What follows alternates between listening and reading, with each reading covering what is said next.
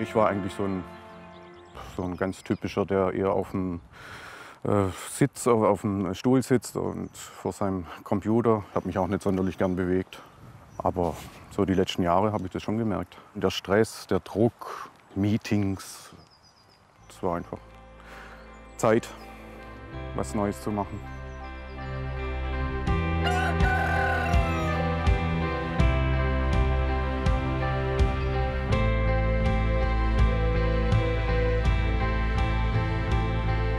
Der Traum vom eigenen Hof. Alex und Elvira haben sich ein 230 Jahre altes Bauernhaus im Schwarzwald gekauft. Rickenbach liegt an der Grenze zur Schweiz. Hier wollen beide als Bauern leben und wir werden sie ein Jahr lang begleiten.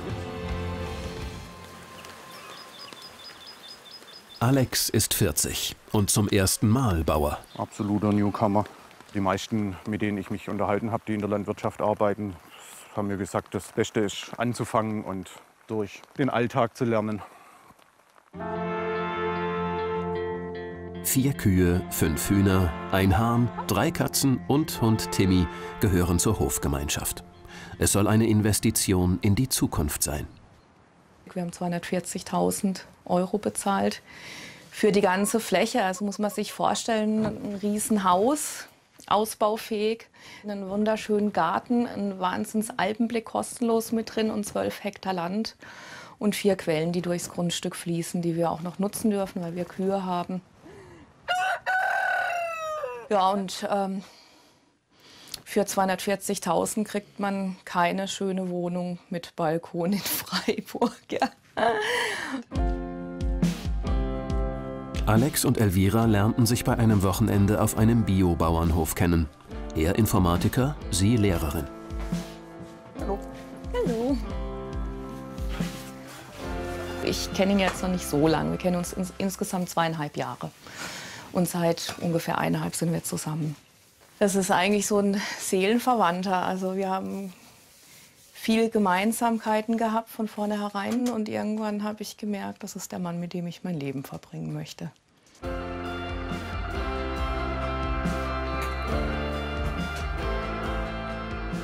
Wann erweitern wir jetzt unser Hühnerimperium? Ich will ein paar mehr Hühnchen haben. Mhm. Der günstige Verkauf des Hofes war an eine Bedingung geknüpft. Der Hof sollte ökologisch weitergeführt werden, ohne Kunstdünger und Pestizide. Heute gibt es Kuhpediküre. Ja. Gell? Carla? Ja, fein. Das stressige Stadtleben haben beide hinter sich gelassen. Und nun sind sie Berufseinsteiger. Alles klar. Als Jungbauern ist alles neu. Auch die Klauenpflege ihrer Kühe. Dazu braucht es professionelle Hilfe von einem Klauenschneider. Eine Nervenprobe, nicht nur für die jungen Tiere. Ja, klar bin ich da schon nervös. Also mache das auch zum ersten Mal und habe keine Ahnung, wie sie reagieren. Ich nicht. Oh. Hala. Hala, fein, ganz ruhig. Hala, ist gut, alles gut. Fein. Ist gut.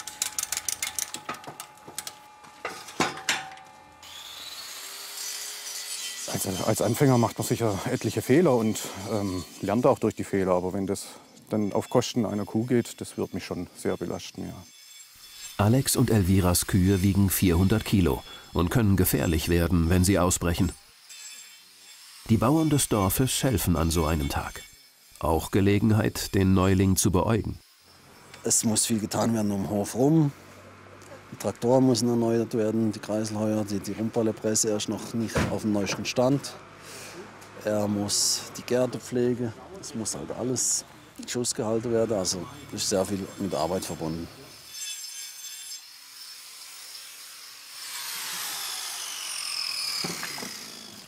Super gemacht, super gemacht. Juhu. Achtung, er kommt.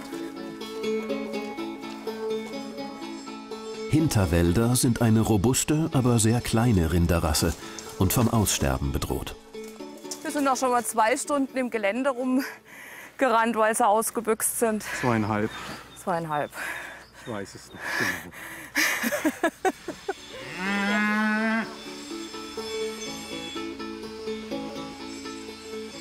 Irgendwann sollen Schweine und Ziegen dazukommen. Aber erstmal muss der Umgang mit den Kühen gelernt werden. Also zu so einem Bauernhof gehören einfach auch Kühe. Ja, die Kuh ähm, frisst und scheißt und äh, gibt Milch und ähm, das, was aus ihr rauskommt, ist nachher wieder der Dünger für die Weide. Die Weide wird abgefressen und es ist einfach ein, ein, toller Kreislauf. Und ich bin zumindest so weit, dass ich mal bei einem Metzger dabei sein will, wenn eine Kuh geschlachtet wird. Ob das unsere eigene ist, das bin ich mir noch nicht so sicher. Konsequent wäre es natürlich, aber vielleicht muss ich mal langsam anfangen. Zu einem Biobauernhof gehört im Hühnerstall ein Hahn.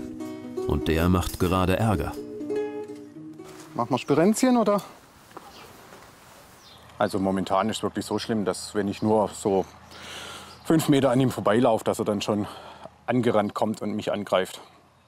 Und ein Biobauer sagte mir, ich muss ihn einfach irgendwann mal am Hals packen und vor mir hängen lassen, bis er ziemlich schlaff wird. Also ich werde ihn nicht würgen, aber der wird dann ganz ruhig. Dann setze ich ihn hin und äh, ab dem Moment sind wir beide wieder die besten Freunde. Ah, ja, wusste ich's doch.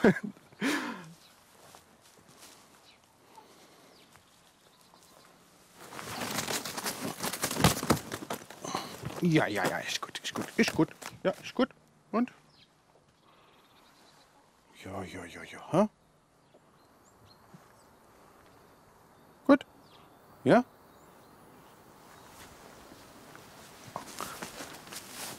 Ah.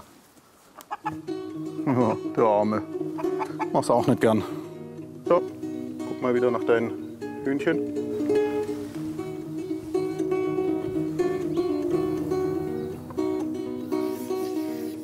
Elvira ist 38 und wollte immer Lehrerin werden.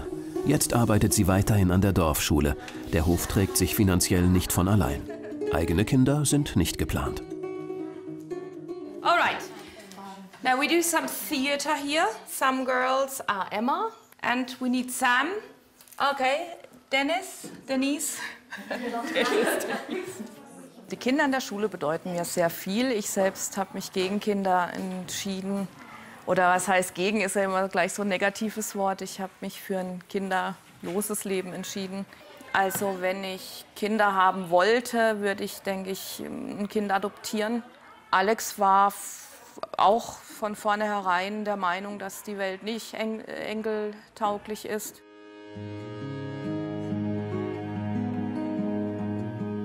»240.000 Euro hat der Hof gekostet. Alex hatte Geld gespart, aber erst Elviras Eltern und ein Bankkredit machten den Kauf möglich. Ja, so ist gut. Siehst du es wie weit? Bisschen stärker, wenn es geht. Stärker werfen? Ja. Hier soll eine Blumenwiese wachsen. Für Bienen, die immer weniger Nahrung finden. 4000 Quadratmeter Acker, biologisch sinnvoll genutzt. Nicht jede Fläche muss profitabel bewirtschaftet sein. Also so eine Landwirtschaft wie die unsere gibt es eigentlich gar nicht mehr. Beziehungsweise die äh, Bauern hier sind alle im Nebenerwerb äh, Landwirt. Also die haben alle einen festen Job und gehen dann nach Feierabend halt in den Stall auf die Wiese. Ja, ja, ohne dass Elvira arbeiten gehen würde, würde das hm, hier nicht funktionieren. Es gibt noch äh, einen Teilkredit, den wir abbezahlen müssen für den Hof, den wir gekauft haben. Ähm, wir können aber viel von den Lebensmitteln, den Eigenlebensmitteln äh, leben.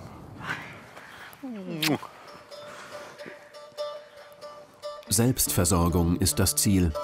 Elvira ist seit 15 Jahren Vegetarierin. Für den Anbau der heimischen Gemüsearten im Gewächshaus und auf den Feldern ist sie alleine zuständig. Dieser ganze Konsumterror, mit dem man immer mehr konfrontiert wird, braucht man gar nicht. Und ich fühle mich viel freier, seitdem ich mich entschieden habe, ich kaufe einfach nichts mehr. Es ist nicht wichtig, wie viel du hast, sondern was du machst. Das ist wichtig.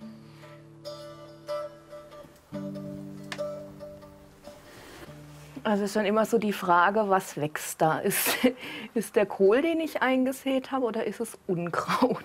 Also Beikraut, Unkraut gibt es ja nicht, es gibt ja nur Unmenschen.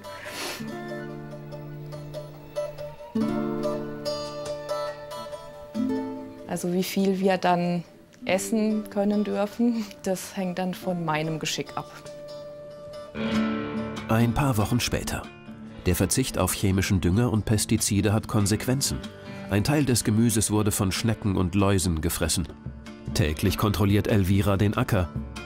Doch nicht nur für manche Pflanzen kommt die Rettungsaktion zu spät.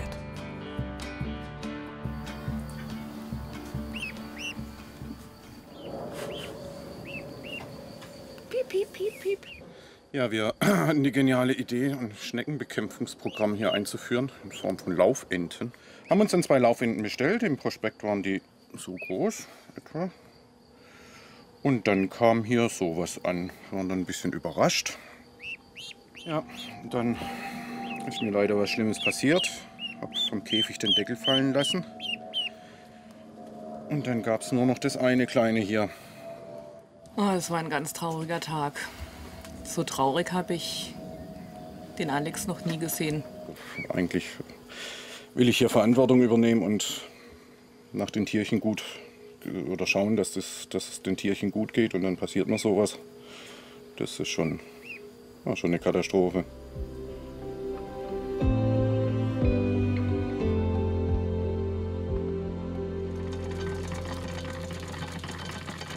Gekauft wie gesehen. Alex hat alles, den Hof und die Maschinen vom Vorbesitzer erworben. Fast alle Gerätschaften sind technisch veraltet. Kurz vor der Ernte macht der Greifer Probleme, mit dem das Heu in die Scheune gebracht werden muss. Nachbarbauer Rolf hat seine Hilfe angeboten. Das hat man nicht mehr, das ist halt uralt. Ich habe hiermit auch noch nie gearbeitet, aber ist alles in Gang zu bringen. Na ja. Na ja.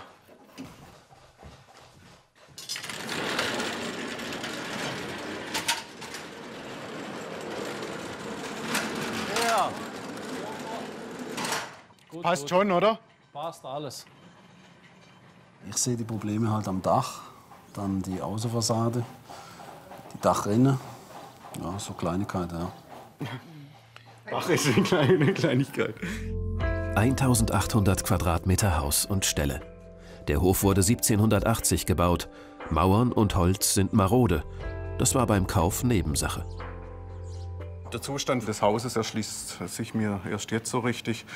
Dann gibt es einen Riss vorne am Haus, der auch erst so richtig wirklich sichtbar wurde, nachdem wir da zwei Bäume gefällt haben. Und das ganze Eck war einfach jahrelang nass. Dadurch wird auch der Dachstuhl nass, weil die, die äh, Ziegeln oben nicht mehr richtig aufgelegen sind. Und da muss man jetzt mal Balken ersetzen und gucken, was da drunter ist, für welche Überraschung da vielleicht noch auf uns wartet.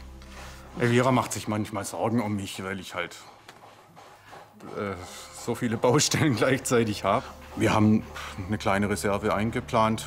Ähm, die gibt es auch noch. Aber klar, so richtig wahnsinnig teure Sachen, die liegen gerade nicht drin. Alles, ja. Die Arbeit ist allein nicht zu schaffen. Bernhard ist neuer Mitbewohner auf dem Hof, hauptberuflich Bauingenieur und auf der Suche nach einem Leben mit der Natur. Mitarbeit gegen Kost und Logis im Gartenhäuschen, das ist der Deal. Ja, was ist denn los? Die Kühe brauchen bei Unwetter einen Unterstand. Alex kann Computer programmieren, aber eine stabile Hütte bauen ist Neuland. Jetzt sehen erstmal was füttern. Hier, komm her, Andrasch. Ich hab's Brot. Carla. Ja, nicht so hastig. Ja, ja, ja.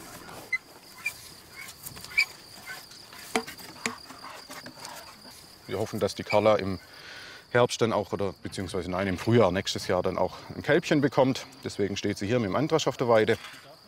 Dann haben wir eine Kuh mehr. Passiert, oder? Wissen wir nicht. Wir wissen nicht, ob da schon was passiert ist. Ich habe die Bohle schon angezeichnet. Ja, eiert jetzt schon ein bisschen, Hilfe. Als Bauer ist es natürlich viel schöner und viel besser, ähm, in der Gemeinschaft was zu tun. Oder klassisch halt die ehemalige äh, Bauernfamilie, wo die Kinder auch mitarbeiten. Und ja, ja, also eine Landwirtschaft zu betreiben, macht man eigentlich nicht alleine. Ja. Es wäre auch eine große Erleichterung, wenn noch mehr Menschen hier mit auf dem Hof arbeiten. Die Entscheidung, auf dem Land zu bleiben, war für mich eigentlich damit verbunden, dass ich tatsächlich auch mit dem Land arbeite. Also ich unterstütze halt auch die beiden hier auf dem Hof bei dem, was zu tun ist, so wie der Viehunterstand. In meinem letzten Leben ähm, habe ich so viele Dinge gemacht, die überhaupt keinen Sinn ergeben haben. Die von vornherein schon irgendwie absurd waren. Es muss Sinn machen eigentlich, ja. Hm.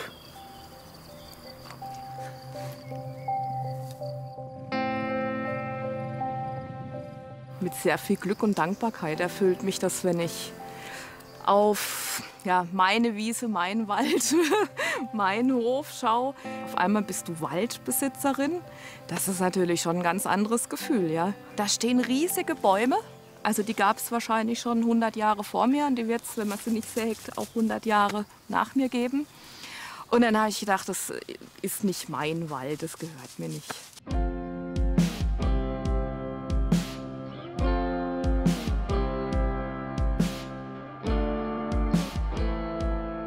Der Arbeitstag eines Bauern endet spät, wenn Hof und Tiere versorgt sind. Der Nachbar hat geschlachtet. Alex stellt den Grillplatz. Langsam wachsen Freundschaften in der Dorfgemeinschaft. Privates wird ausgetauscht. Auch, dass Elvira die letzten drei Jahre verheiratet war. Jetzt machen wir gleich noch einen Sekt auf, weil wir meine Scheidung feiern. Und dass ich dann wieder frei bin für das, was da kommen wird.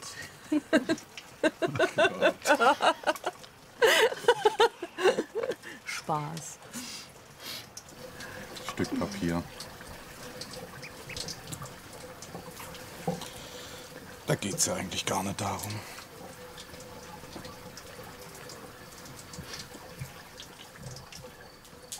Alex hatte eine lange Beziehung, bevor er Elvira traf. Heiraten war bislang nicht wichtig. Aber Einstellungen können sich verändern. Vorerst drängt die Zeit. Der Wetterdienst hat Ende Juni ein Hoch angesagt. Alex muss, wie alle anderen Bauern auch, die Sonnenstunden zum Mähen der Wiesen nutzen.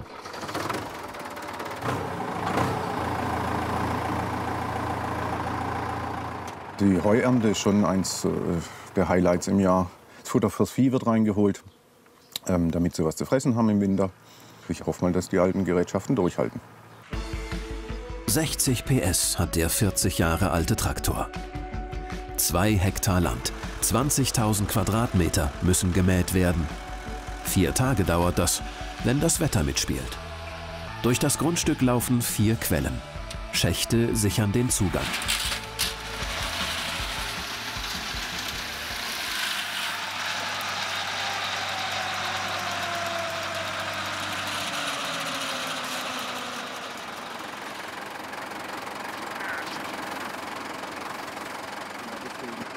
Bin jetzt gerade am Quellschacht hängen geblieben vom Nachbarn. Da ist so ein Metallring drauf.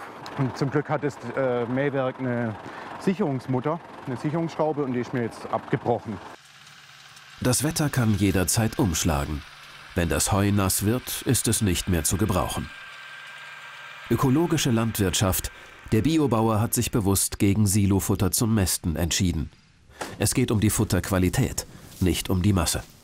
Hallo Alex, und klappt's? Alles okay? Hallo Rolf. Ja, ja, soweit alles okay. Das Wetter passt ja, oder? Ja, Wahnsinn.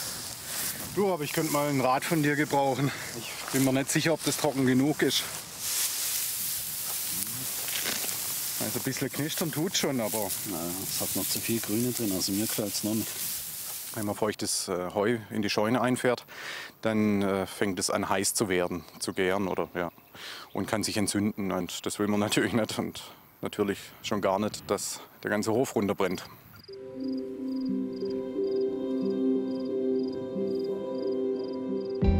Nach erfolgreicher Ernte lagert frisches Heu in der Scheune. Ausreichend Nahrung für die Tiere im Winter. Und auch das ist Glück für den Bauern. Die Kühe bekommen Nachwuchs.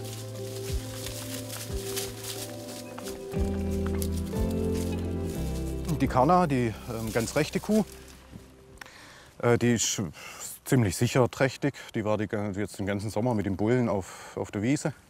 auf der Weide. Ähm, die Hilde ist vielleicht auch trächtig. Die waren im Frühjahr noch zusammen. Da waren wir uns nicht sicher, ob der Andra schon Lust auf seine Kolleginnen hat. Ähm, sicher nicht trächtig ist die Holle.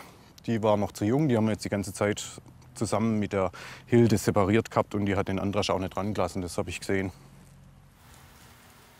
Ursprünglich war geplant, dass die Hilde in den Topf kommt. Hab's noch mal verschoben, die Entscheidung. Natürlich tun mir die Tiere dann auch leid, aber es ist eine Konsequenz. Wenn ich Fleisch esse und eine Landwirtschaft habe, dann muss ich auch schlachten und das auch meine Tiere nicht die vom Nachbarn nur. Die Bäuerin vom Nachbarhof züchtet seit Jahrzehnten Rinder. Ihr erfahrener Blick auf die Herde bringt schlechte Nachrichten. Der Bulle hat auch die jüngste Kuh gedeckt. Also, wir kriegen drei Kälber. So kann es gehen.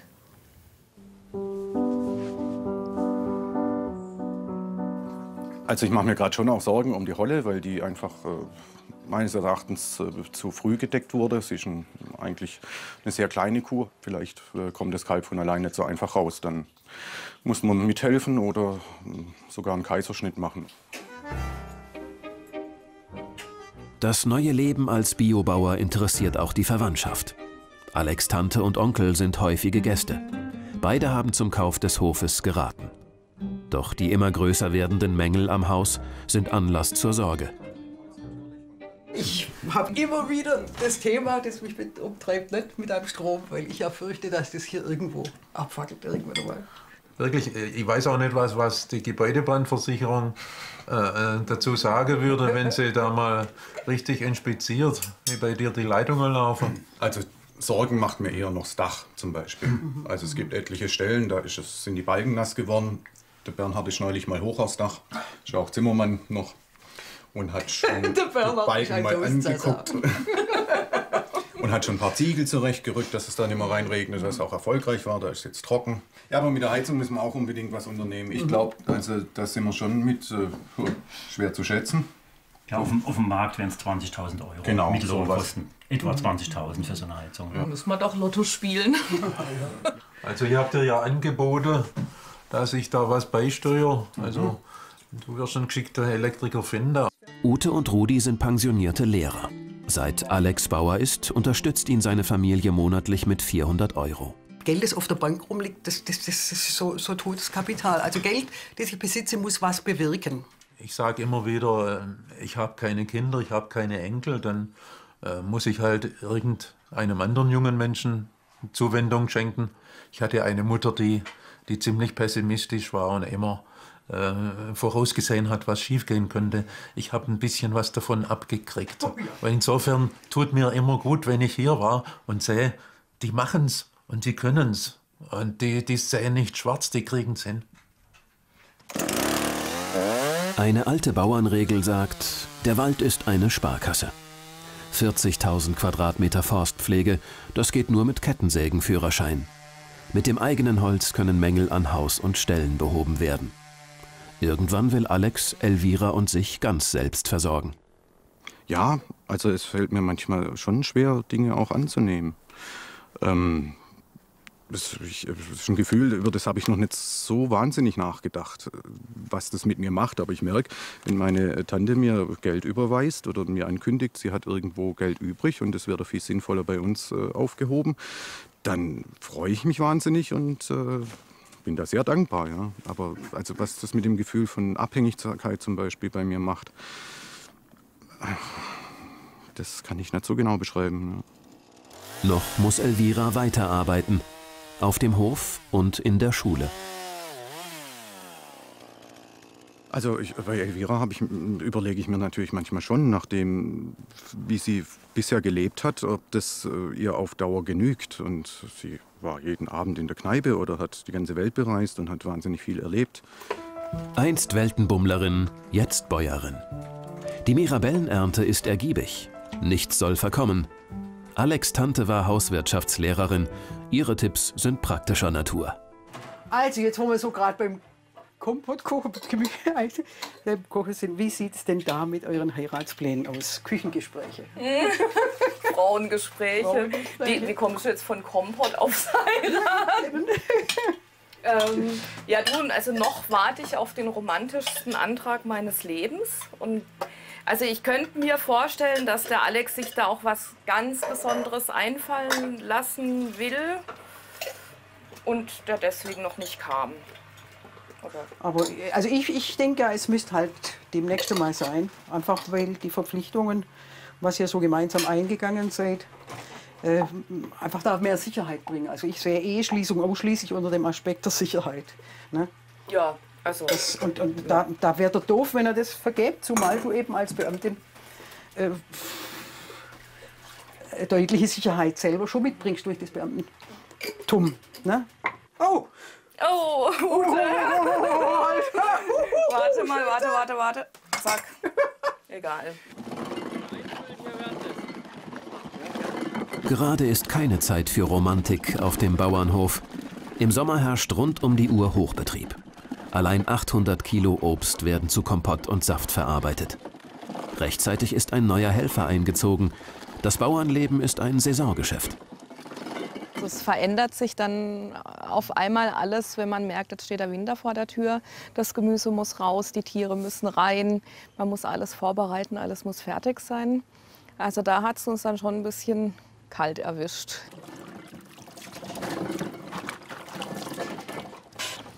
Dann hat sich der Florian entschlossen, bei uns einzuziehen.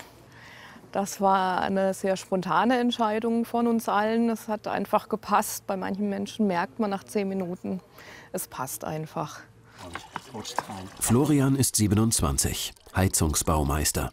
Auf der Suche nach einem naturbewussten Leben und eine gute Hilfe auf dem Hof. Es sind sehr offen, offene Menschen, die beiden, und ist sehr herzlich und ja, sie teilen gern. Obwohl sie hier, hier die Besitzer sind, lassen sie einen das nicht spüren, sondern man ist einfach Teil von dem Ganzen, als ob es einem auch gehört.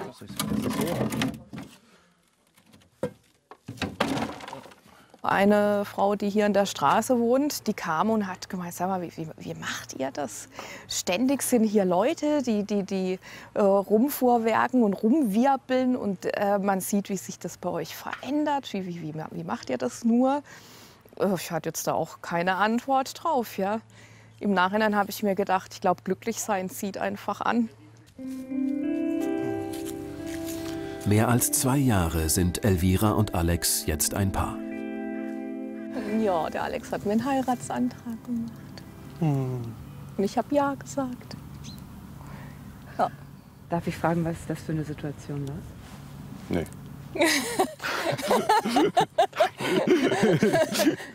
also ich war schon abwartend, weil einfach ich nicht so gedrängt werden wollte. Also nicht von ihr, überhaupt gar nicht, im Gegenteil. Aber so um mich rum, alle, oh, ihr müsst heiraten und meine Tante. Und, und das hat mich irgendwie so ein bisschen gestört. Ich wollte es auf meine Art machen und dann, wenn ich das will und wenn der richtige Moment gekommen ist.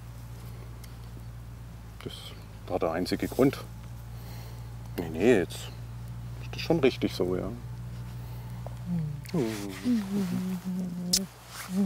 Komm, ich muss wieder nach meinen Kühen sehen. Die Alpen, guck. Schön.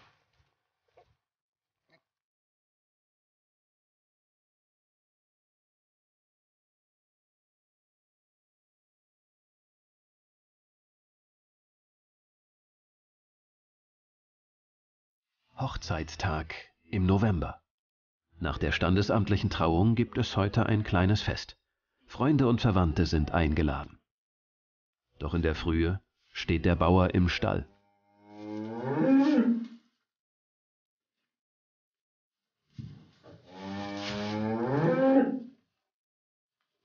Heute schon ein aufregender Tag, ja. Ja, heute Morgen kam das Kalb auf die, auf die Welt. So um 6 Uhr wahrscheinlich. Elvira ist gerade runter und hat gehört, wie die Kühe muhen. Und er lag schon da. Und ähm, ja, später heiraten wir dann noch kurz. Und ja, Verwandtschaft kommt und viel zu tun, ja. Ach, Öde. Mach nicht so blöd. Oh. Mach nicht so blöd. So. Also gut, dann Eichert. Das Kalb ist gesund. Alex muss dennoch den Tierarzt rufen. Die andere trächtige Kuh Holle ist zu klein, um ihr Kalb auf natürlichem Wege zur Welt zu bringen. Hier sehen wir ein, darf ich auch sagen, Problem. Mhm. Wegen der Beckenbreite und äh, Größe mhm. ist zu früh halt gedeckt. In dem Fall sieht es so aus, dass wir äh, bei der, äh, wenn es zur Sache kommt, Kaiserschnitt, Kaiserschnitt machen müssen. Ja. Das ist natürlich schon eine schwierige Situation und muss jetzt immer wieder schauen nach der Holle und muss rechtzeitig merken, wenn sie anfängt zu kalben, den Tierarzt holen. Ja, ja, das, das ist dann schon ein bisschen, drückt einem ins Knick.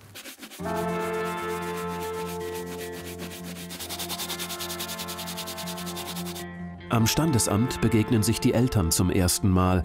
Sie haben erst vor ein paar Tagen von der Hochzeit erfahren. Liebes Brautpaar, verehrte Gäste, ich darf Sie hier in Rickenbach recht herzlich begrüßen. Wir haben uns heute hier eingefunden, weil Sie beide, Frau Erdem und Herr Horn, Ihren weiteren Lebensweg gemeinsam beschreiten wollen. Ich frage Sie, Alexander Thomas Horn, sind Sie bereit, mit der hier anwesenden Elvira Erdem die Ehe einzugehen? Dann antworten Sie bitte mit Ja. Ja. Elvira Erdem, sind Sie bereit, mit dem hier anwesenden Alexander Thomas Horn die Ehe einzugehen? Ja. Dann antworten Sie bitte mit Ja. Ja.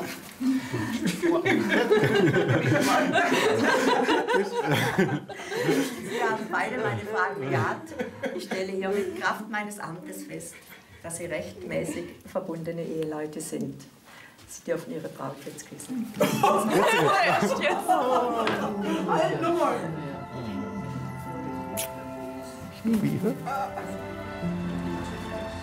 Hochzeitskutsche nach Bauernart. Nachbar Rolf hat seinen Oldtimer-Trecker aus der Garage geholt.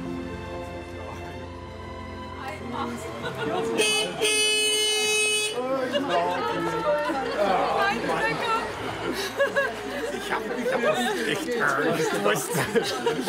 Lehrmann, alles Gute. Also ein bisschen stolz bin ich schon, muss ich sagen, was sie leistet. Also Hut ab. Ihr Beruf ist ja wirklich nicht der leichteste, den man gerade so mit links macht. Und dann noch diese ganze Arbeit auf dem Hof und das Ganze drum und dran jetzt mit äh, dem Dorf. Ja, man möchte hier auch Kontakt pflegen mit Nachbarschaft und so weiter. Also von daher denke ich jetzt, äh, kann ich schon stolz sein auf meine Tochter. Aber wenn man den entsprechenden Partner hat, dann ist alles leichter zu bewältigen. Auf dem Hof haben wir ihn das erste Mal wieder gesehen mit Gummistiefeln und so einer Latzhose. Ja. Er hatte einen Vollbart. Er hat Haare zerzaust gehabt, die Rübezahl. Das kann mir nur gefallen, gell? Das heißt Freiheit. Das heißt Harley Davidson. All sowas.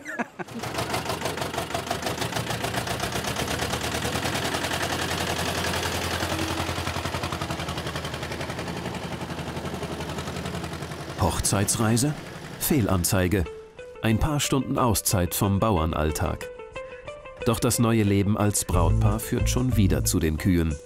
Alex und Elvira schlafen abwechselnd im Kuhstall, warten, dass die Geburt beginnt. Die Kuh muss Wehen haben, bevor das Kalb geholt wird, sonst akzeptiert es die Mutter nicht.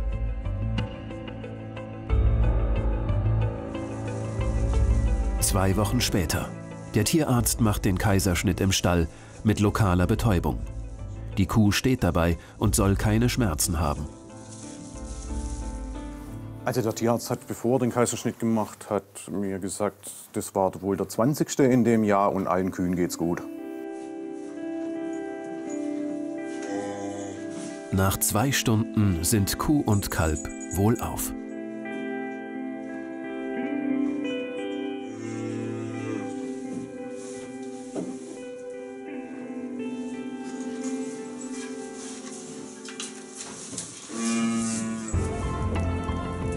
Fünf Wochen später. Das dritte Kälbchen kommt zur Welt.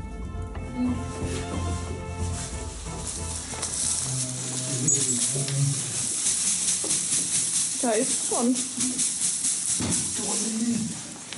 Toll, Carla. Toll, Carla. Toll.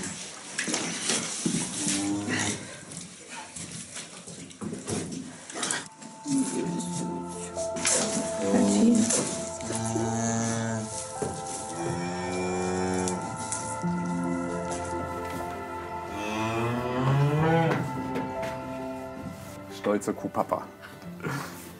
Drei super lebendige kleine Kälber. Unsere Kälbchen haben jetzt natürlich schon auch Namen. Die sind einfach viel zu süß. Hildes Kleine heißt Hörnli, Holles Kleines heißt Hummel und Carlas Kleines heißt Kugel. Ein richtiger Winter. Die Hofgemeinschaft ist gewachsen. Mittlerweile leben vier Laufenten, zehn Hühner, ein Hahn, sieben Kühe, drei Katzen, ein Hund und vier Menschen auf dem Hof. Die Natur profitiert von der Kälte. Weniger Ungeziefer im Sommer. Aber das alte Haus leidet. 230 Winter hat es überstanden, aber jetzt sind neue Schäden aufgetreten. Ja, das Haus sorgt in der Tat immer wieder für Überraschungen. Äh, klar, wenn man ein altes Haus kauft, ist man nie fertig.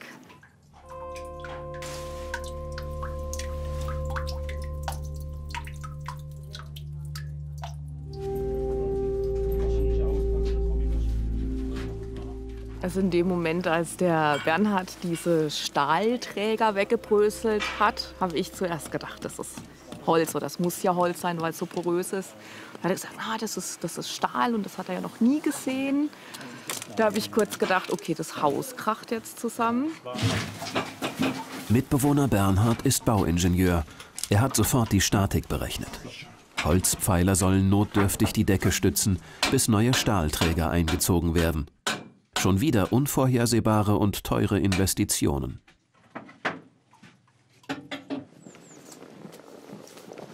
So existenzielle Fragen sind für mich nicht mehr in der Form vor, vorhanden wie, wie früher, wo ich eine Mietwohnung jedes, jeden Monat bezahlen musste und ja, halt Angst hatte, meinen Job zu verlieren, vielleicht arbeitslos zu werden und meinen Lebensstandard nicht mehr halten zu können. So was habe ich mich sehr frei gemacht davon. Ich habe einfach gemerkt, dass dadurch, dass ich solche Ängste hatte und so ein Sicherheitsbedürfnis hatte, ich auch, soll ich sagen, ständig erpressbar war und ich hatte dann ganz viel Glück, ja, und dass ich jetzt hier stehe und das so funktioniert hat, das hat sehr viel mit Glück zu tun, aber da wäre ich nie hingekommen, wenn ich weiter so gedacht hätte wie früher im Job mit dem Sicherheitsgedanken. Aber auch als Bauer sind neue schwierige Entscheidungen zu treffen. Bulle Andrasch ist schon wieder bereit. Inzucht droht. Er wird geschlachtet. Also es war ja klar, dass wir auch schlachten, weil der Alex Fleisch isst. Und das finde ich auch konsequent, dass man seine eigenen Tiere isst. Nichtsdestotrotz war ich dann den Tränen nahe, als der Alex gesagt hat, er hat mit Metzger telefoniert. Und als ich dann allein war, bin ich zum Andrasch in den Stall und da lag er dann ganz süß da und da habe ich mich schon von ihm verabschiedet. Also genau deswegen esse ich halt seit 15 Jahren kein Fleisch, auch kein Fisch, also nichts, was sich von alleine fortbewegt, weil ich kein Tier töten könnte, um es zu essen.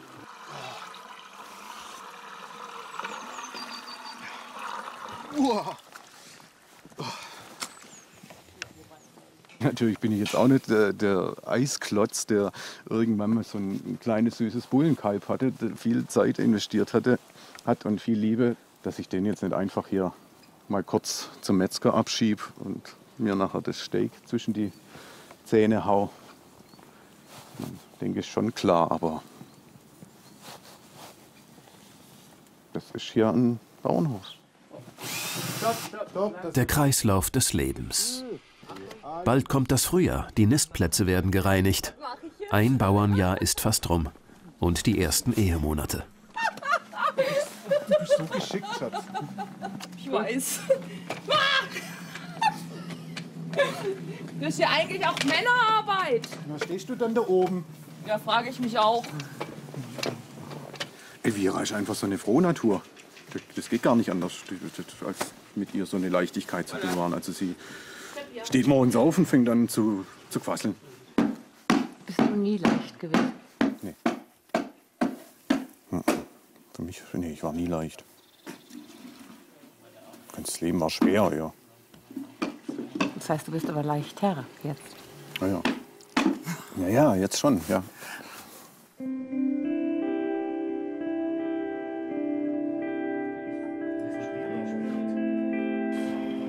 Zeit für die Partnerschaft finden. Trotz des Bauernalltags und all seinen Widrigkeiten. Im Dorf wird ein Tango-Kurs angeboten. Mitbewohner Florian und Bernhard und Nachbar Rolf sind nicht nur Helfer am Hof, sondern mittlerweile Freunde. Ich würde nicht sagen, dass die richtigen Bauern sind. Die sehen das alles ganz locker und ja, die nehmen es, wie es kommt und gute Einstellung. Wir haben total viel Spaß, auch also als Hofgemeinschaft. Wir sind sehr ausgelassen.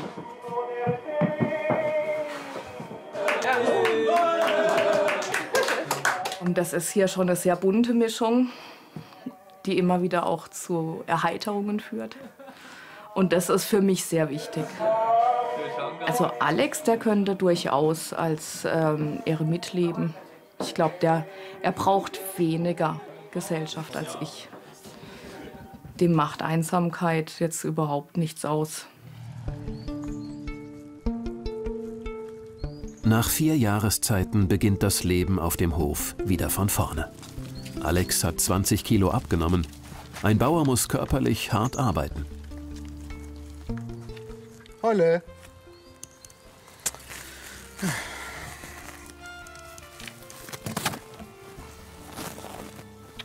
Super gemacht.